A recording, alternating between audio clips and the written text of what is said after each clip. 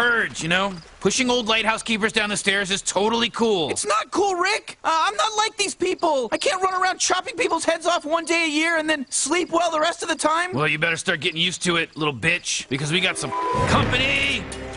Hey, there he is. Here I am.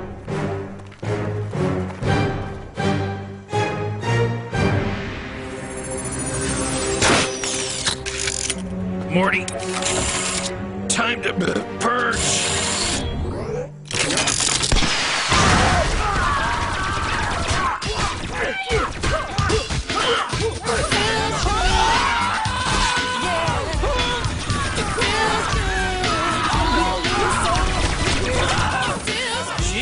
Wow, Morty, now you're getting into it. Never expected that out of you. All right, uh, let's go find my ship.